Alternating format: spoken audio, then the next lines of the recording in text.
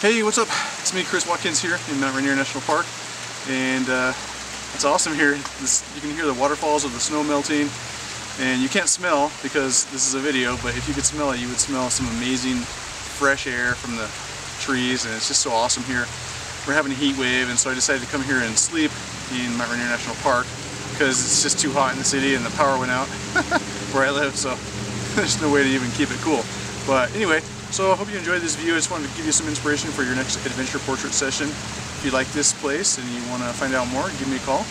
Talk to you later.